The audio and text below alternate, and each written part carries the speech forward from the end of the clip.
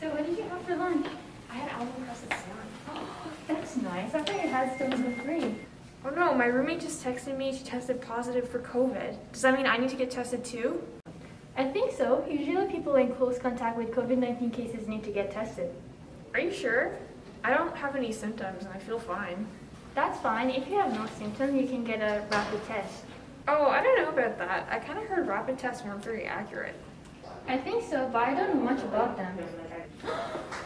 No need to fear. I'm here to make things clear. Let me tell you everything about the COVID 19 rapid tests. Before we can dive into rapid tests any further, let's get a better idea of what tests there are available to diagnose COVID 19 infection. There are many tests with differences ranging from how the samples are obtained to the mechanisms of the test to what the test even measures. These disparities make it difficult to create distinct categories for the tests and even more difficult for the general public to understand them. In this video, we will guide you through gaining a better understanding of COVID 19 rapid tests. Let's start with the broadest parameter of differentiation what the test is identifying. In this regard, COVID 19 tests can be split into two major categories antibody tests, which are also called serology tests, and viral tests. Antibody tests look for whether someone has had a past infection by identifying proteins called antibodies in the blood of the individual. Antibodies are created by the immune system when someone has been exposed to a virus in order to fight infection. And there are specific antibodies to each virus the body encounters. Now, antibody tests are important as they serve their own unique purposes in diagnosing COVID 19, but this test will not be focused on in this video as rapid tests fall under the viral test category. Viral tests are useful in determining whether there is a current infection. They do this in two ways through nucleic acid amplification tests, or NATs for short, and through antigen tests. NATs are designed to amplify pieces of genetic material that belong solely to the virus in question. If the viral genetic material, or RNA in this case, is present, it will be amplified and detected by the relevant apparatus. These tests need to be processed and analyzed in a lab, so getting results to these tests can take several days. The polymerase chain reaction, or PCR test, is an example of a NAT and is currently the gold standard used for determining active COVID 19 infection. Now we've arrived at antigen tests, or more commonly referred to as rapid tests. There are many names that can be used to refer to rapid tests, such as lateral flow tests, point of care tests, or dipsticks. This preponderance of names is probably one of the sources of confusion in this area. For the remainder of this video, we will be referring to these tests as rapid tests to avoid any confusion. But it is important to recognize that these tests go by many names. Oh, okay, I get it now. But how do they work though? Rapid tests detect the presence of viral antigens, which are a type of protein that can be found on the surface of the virus. The rapid antigen test does not need lab analysis, unlike NATs, which is why results are delivered rapidly. A positive test result indicates that viral antigens are present, meaning the virus is present. And a negative test result indicates that there is no viral antigen present, meaning that there is no virus present.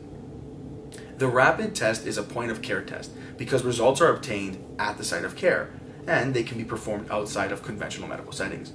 A typical rapid test kit, which can be purchased from any pharmacy, normally comes with a swab to collect nasal or throat samples, a viral extraction test tube with viral buffer, and an inbuilt COVID 19 antigen test, test strip. To use the test kit, you first need to add the provided buffer solution to the test tube.